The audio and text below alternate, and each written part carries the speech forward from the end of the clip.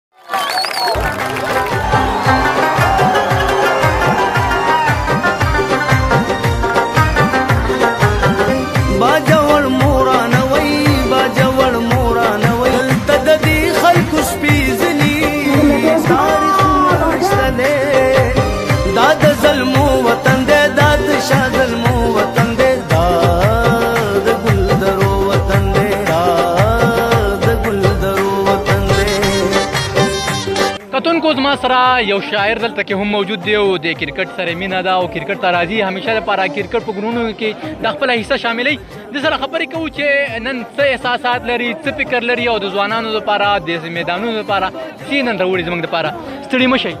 السلام علیکم ډیره مننه تاسو ډیره شکریا ادا کوم چې به تاسو یو پیرا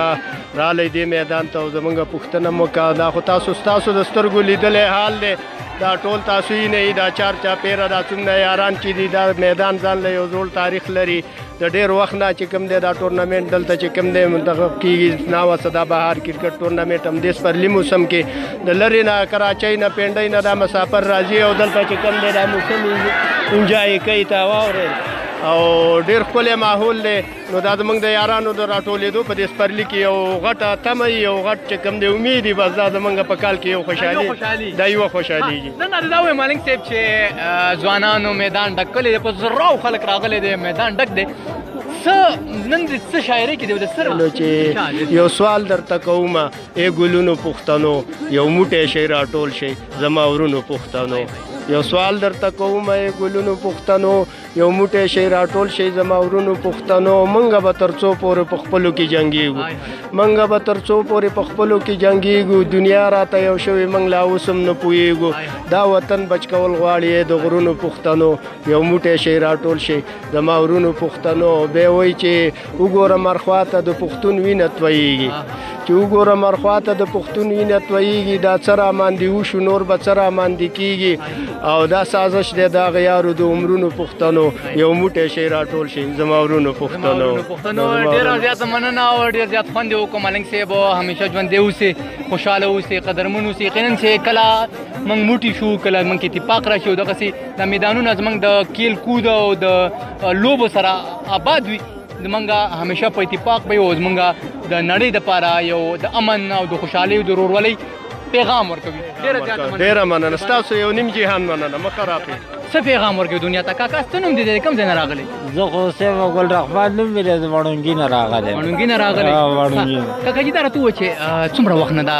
کرکټ ګوري او سم خوند مزه ته اخلي که نه یاره زه به بس بچپن لم دا خوند دی بس دې لوبې له راځو نور په خپل نه کوو اوس د تماشې شوقیا دي تماشې شوقي راځي په ځوانۍ کې دې کوو که نه به یې کوو نه نه بالکل په ځوانۍ کې مې نه دی کړی خو د تماشې شوق مې په وړوکوالي کې مې کړی ها په وړوکوالي نه به کرکټي مرکټي به یې راځو له لوبې له راځو تماشه کوو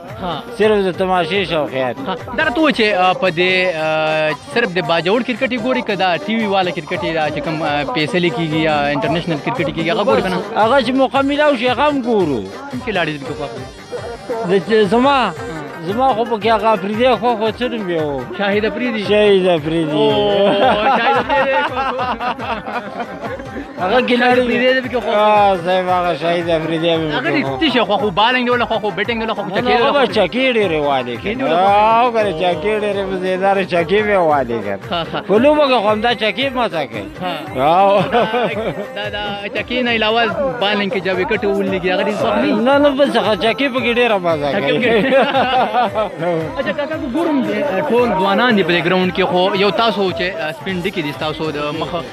مبارک خو وګورو نو داسې ځوانان سره داسې سپینګری ډیر کم کینی او داسې ماحولونو کې ډیر سپینګری کم راځي څه پیغام ورکوي دنیا ته نو بس صاحب زمونږ زړه چې کوم دی کنه د الکانو دی بس تاسو هم د الکان خوښ دی او د الکانو خاله راځي الکانو کو او کنه صاحب زړه ځوان نه ډېرې مزیدارې خبرې کوي یقینا چې چا زړه ځواني کړه هغه دغه ماحولونه ناراضي او داسې ماحولونه کې داسې ماحولونه کې هلکه ته مه ګړوه سړی ته مه ډسټرب کوه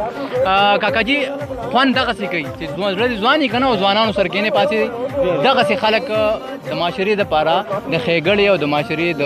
پرمختګ دپاره دغه خلک ضروري وي خوشاله مرګري هم پکې وینو یو او بل هم راغلی هغه هم پکې وینو راوینو او بس ګپ هم ساز شي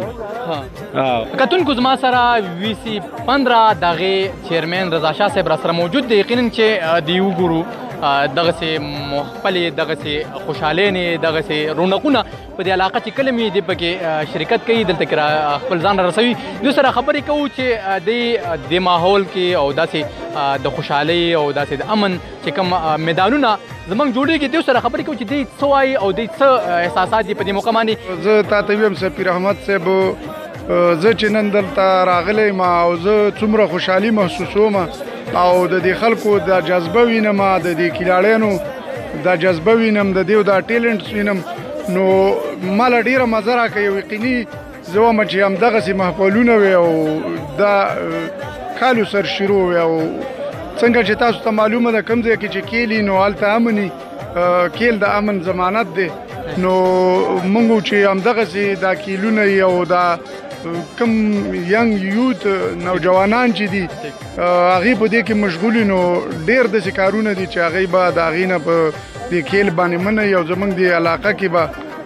امني ټیک ډېر مننه جی شکریا مهرباني دا راته وایي چې د کوم ځای راغلی او دلته کې څه ګوري څه ویني بسم الله الرحمن الرحیم زه خو زوربندر سره تعلق ساتم زمونږ خپل ټیم هم په دې کې موجود زوربندر زلمی ولکه مونږ می شو به مونږ ته بهر شو هر کال دلته ډیر زبردست ټورنمنت کیږي او ډیر کراود هم راځي او دا ډیر امن پسند علاقه ده ډیر زیات خلک خوخی کرکټ او ډیر زیات په شوق سره راځي دلته اکتون کو د دې پروګرام چې کم چیف ګیسټ او عزیز الله صاحب ما سره موجود دی یقینا چې دلته کې په زراو باندې خلک راغلي دیو سره خبرې کوو چې نن دې څه احساسات دي او دې چې دا کوم میدان دی د خلکو ډک دی دې نن څه وایي دیواني